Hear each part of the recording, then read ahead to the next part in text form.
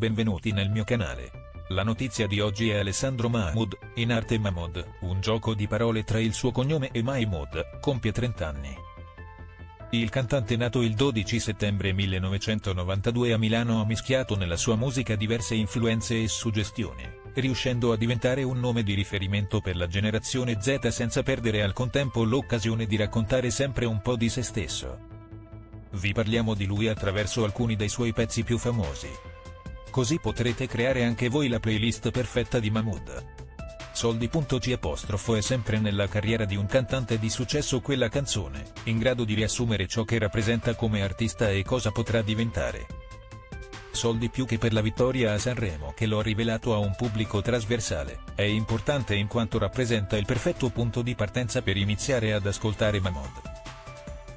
In questa hit troviamo elementi che torneranno poi in tutta la discografia del cantante sardo, milanese barra egiziano.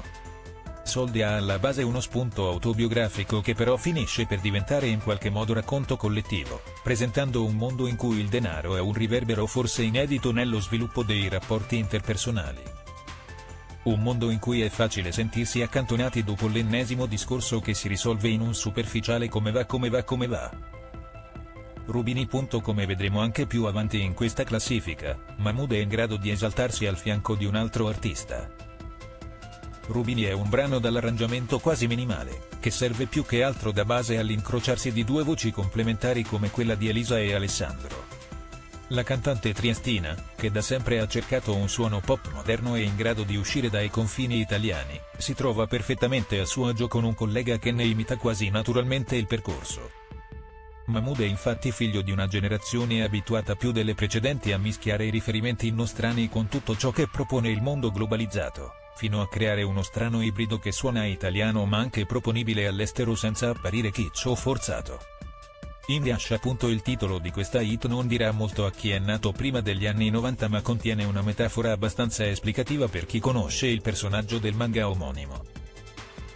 Come il personaggio del mezzo demone in Uyasha anche Mahmood in questo pezzo racconta il suo sentirsi scisso tra diversi sé, forse a causa di medesime cicatrici che ne hanno segnato il percorso e che ne impediscono ancora un rapporto completo.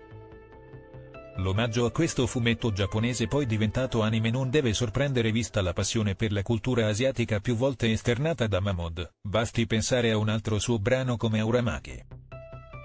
Barrio. Un altro brano in cui Mahmood ribalta gli stereotipi. Qui parla del quartiere, del barrio, ma senza farlo diventare come da cliché hip hop il teatro di spacconerie da gangster. La periferia di Mahmood diventa in questa canzone lo scenario perfetto di una complicata storia d'amore e incomunicabilità, in un luogo senza identità dove si è tutti e nessuno allo stesso tempo. Dopo il successo di Soldi anche in Spagna Mahmood strizza di nuovo l'occhio a quel mercato, senza al contempo rinunciare a certe suggestioni arabe e nordafricane che fanno ormai parte della sua identità musicale. Dorado. Nel 2020, l'anno dopo Barrio, arriva Dorado che in qualche modo è un altro passo nella stessa direzione. Stavolta Mahmood si fa affiancare dal più internazionale dei nostri trapper, Sfera e Basta, e dal cantante colombiano Fade famoso per la sua musica a metà strada tra il reggaeton, l'hip hop e l'R&B. Ne viene fuori un mix inedito, in cui viene evocata persino Lana del Rey, ritratta in un poster nel videoclip.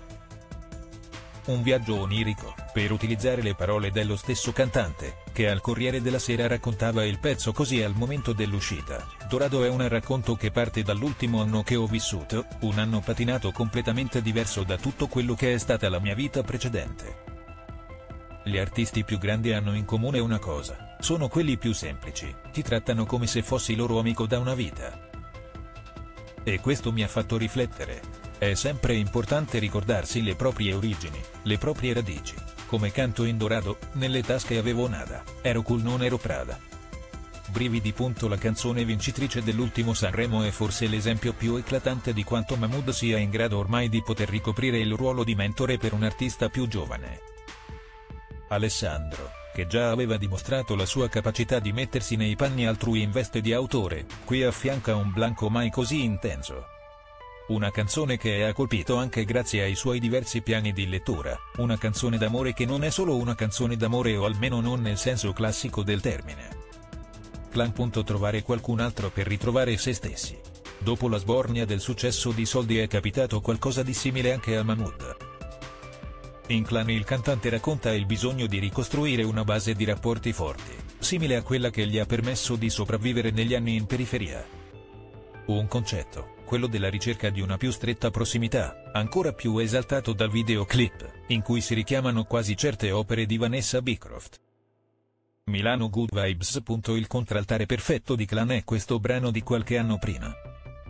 Qui la metropoli svuotata dall'esodo agostano diventa l'emblema di una solitudine con cui si è arrivati a convivere, fino quasi ad apprezzarla o a ironizzarci sopra.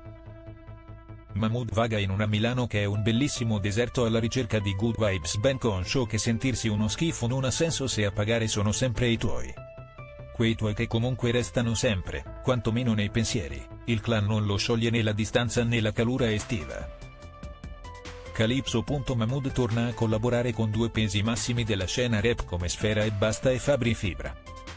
Ne viene fuori questo tormentone che racconta una fuga dai vicoli e da quella mediocrità di periferia che non è poi troppo diversa dal tentativo di Ulisse di scappare dalla ninfa Calypso.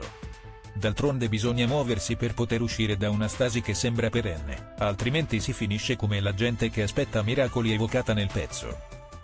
Questo è tutto per le notizie di oggi, assicurati di lasciare il tuo commento e iscriviti al canale qui sotto per ulteriori aggiornamenti sulle notizie.